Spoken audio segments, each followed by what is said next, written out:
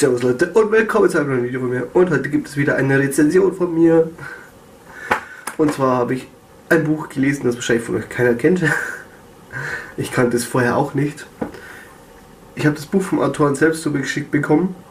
Oder vom Verlag, von dessen Verlag, weiß ich nicht. Stand nichts dabei, war nichts dabei, keine Ahnung. Nämlich geht es um Froschkönigsreich von Franz Baumann, ein Regensburger Autor.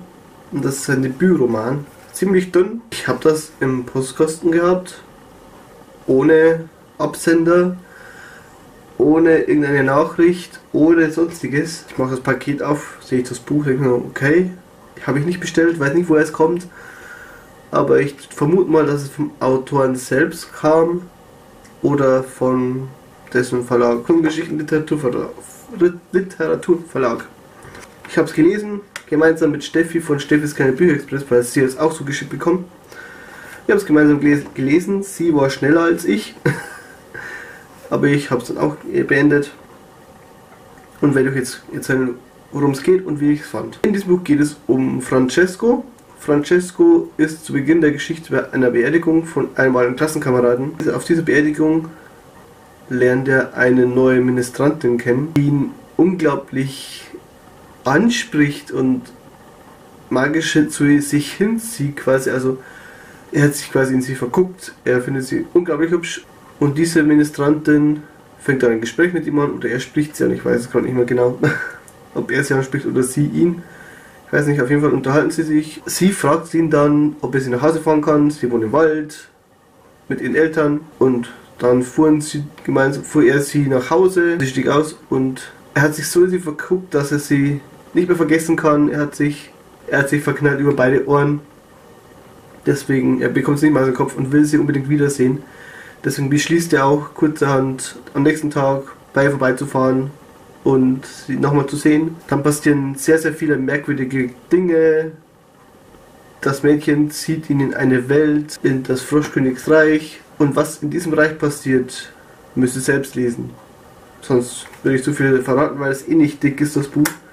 Und wenn ich jetzt noch mehr verrate, dann kann ich das ganze Buch, braucht ihr euch das Buch gar nicht mehr kaufen, weil ihr schon wisst, worum es geht und wie es, was alles passiert. Ich finde das Cover, fand ich, ist jetzt nichts Besonderes, also so gelungen finde ich es nicht, aber das Glas in dem Hall des Frosches hat auch eine wichtige Bedeutung in der Geschichte. Das war die Haupthandlung des Buches, also es geht um die Ministrantin und um die Welt des, des Froschkönigsreich eine Parallelwelt sozusagen, in die Francesco hineingesogen wird, mehr oder weniger. Also den Rest kann ich euch nicht sagen, weil sonst will ich euch zu sehr spoilern. Hinten steht drauf, ein Ausflug in das Reich des Froschkönigs ist ein Ausflug in die Psyche eines erwachsenen Kindes.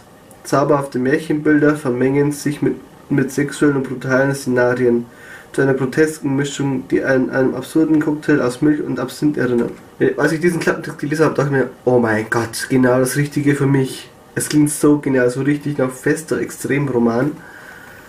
Und es sind, es steht auch wirklich mit drin, also zauberhafte Märchenbilder, das finde ich gerade keins. Es sind auch Bilder enthalten in dem Buch. Immer wieder ein paar Seiten sind da Bilder drin, was das Ganze ein bisschen auflockert, weil man auch etwas mitbekommt von der Geschichte der Welt, in der das spielt. Es ist mal eine Landkarte drin von der Welt. Und solche Bilder eben. Und ich finde, ich fand das eine gute Alternative zwischendrin, also Bilder einzubauen die das Ganze ein bisschen symbolischer darstellen, dass man sich das besser vorstellen kann, die ganze Szenerie. Gehen wir weiter zum sexuellen. Ne, sexuellen brutalen Szenarien. Also, als ich das gelesen habe, dachte ich mir so, oh mein Gott, das wird bestimmt so was Geniales werden. Aber das war es letztendlich nicht. Also irgendwie sexuelle Szenarien habe ich da eigentlich kaum entdeckt. Brutale Szenarien jetzt nur bis zum Ende hin. Am Ende war es ein bisschen brutaler. Aber der Rest war eigentlich total nicht brutal. Groteske, grotesken, es, es gab Szenen, da, die waren echt eklig. Bah, die waren echt abscheulich, eklig. Die schon fast wieder an einen festen Extremroman grenzen. Aber teilweise etwas unglaubwürdig. Äh, irgendwie total, weiß ich nicht, unglaubwürdig. Der Protagonist Francesco ist dem Alkohol nicht abgeneigt, deswegen auch das Glas vorne Es hat eine wichtige Bedeutung. Was genau, kann ich euch jetzt natürlich nicht sagen. Irgendwie konnte mich das Buch nicht wirklich überzeugen. Ich fand es am Anfang recht gut. Ich habe mich mit Steffi auch unterhalten. Je länger ich darüber nachgedacht habe, ich fand es am Anfang eigentlich relativ okay. Je mehr ich mich mit Steffi darüber unterhalten habe und sie mir ihre Punkte genannt hat, die sie nicht so gut fand, desto weiter abgesunken ist das Ganze von der Stellenbewertung her. Letztendlich glaube ich, habe ich einen guten Wert gefunden für das Buch. Ich fand, es waren ziemlich eklige Szenen dabei und das Ende fand ich auch sehr, sehr gut. Also mir hat das Ende sehr gut gefallen, auch wenn es ziemlich schnell vorbei war. Aber ich fand es gut. Ich habe noch kein Buch gelesen, wo es kein Happy End gab. Und bei diesem Buch gibt es nicht wirklich ein Happy End. Und ich habe das zum ersten Mal gelesen, deswegen fand ich das Ende jetzt eigentlich gut durchdacht und gut gemacht. Deswegen bekommt es da natürlich einen Punkt mehr. Deswegen, ich fand das Ende gut, Steffi fand es nicht gut. Ich fand das Ende gut. Auch teilweise fand ich es recht interessant, aber es war nicht wirklich gut durchdacht. Auch die Charaktere in dem Buch. Ich habe mir gedacht, wie kann man nur so unüberlegt handeln? Die Charaktere in dem Buch haben teilweise so naiv und dumm gehandelt, wo ich mir nur dachte so, Mann, Leute, wie kann, könnt ihr das nur machen? Wie die Ministrantin am Anfang einfach mit dem Francesco mitgefahren ist, einfach in ein wildfremdes Auto zu einem wildfremden ins Auto eingestiegen ist, sich irgendwo in den Wald zu fahren lassen und was, wie kann man nur so naiv sein? Ich, ich habe das nicht verstanden. Das war etwas, was ich nicht verstanden habe. Und da gibt es noch mehr solcher Situationen in dem Buch außer die erste. Und die fand ich schon sehr. Weiß ich nicht. Würde jemand so handeln? Einfach zu einem fremden Auto steigen und sich mitnehmen lassen? Pendler vielleicht.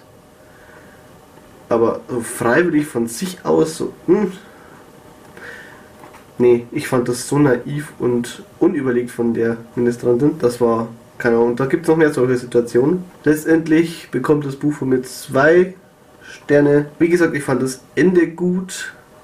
Die Bilder waren sehr gut mit eingebaut. Aber wenn die Charaktere besser gehandelt hätten und irgendwie etwas anderes gewesen wäre, anstatt dem, was ich dann gelesen habe, wäre es ein besseres Buch gewesen. Ein, definitiv ein besseres Buch.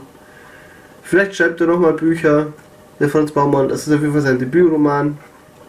Und für das ist es eigentlich schon recht gut für das erste Buch von ihm. Und zwei Sterne. Macht euch selber ein Bild. Wenn es euch interessiert, lest es.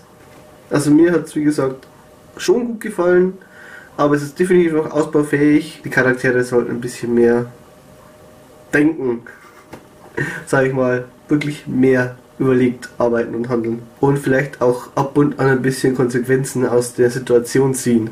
Vielleicht. Das wäre mal eine Option für dieses Buch gewesen. Aber ansonsten kann ich es eigentlich empfehlen, wenn es euch interessiert, schaut es euch auf jeden Fall mal an. Es verdient ja schon den Respekt, dass er das Buch geschrieben hat. Und danke an den Autoren, falls ihr das Video gerade sehen sollte. Habe ich sehr gefreut, dass ich das Buch lesen durfte. Vielen Dank. Und ja, damit war es mit meiner Rezension. Ziemlich durcheinander, wie immer halt bei mir. Habt ihr das Buch vielleicht auch bekommen? Dann schreibt mal, wenn ihr es gelesen habt, in die Kommentare, wie ihr, wie ihr es fandet. Ich weiß ja Steffis Meinung. Vielleicht habt ihr auch bekommen, andere Booktuber vielleicht, die es auch bekommen haben. Schreibt mir mal in den Kommentaren, ob ihr es auch bekommen habt. Würde mich auch interessieren, wer es alles bekommen hat. Und ansonsten, was mit meiner, meiner Rezension? Hier findet ihr noch irgendwo zwei weitere Videos von mir. Die könnt ihr natürlich noch gerne anschauen, wenn ihr wollt. Wenn nicht, dann lasst es bleiben. Und ansonsten sage ich noch Tschüss. Und wir sehen uns beim nächsten Mal wieder. Bis dann.